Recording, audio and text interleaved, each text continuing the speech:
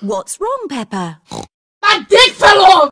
A human heart costs $442,000, and I gave you mine for free, you ungrateful ass bitch! Ah!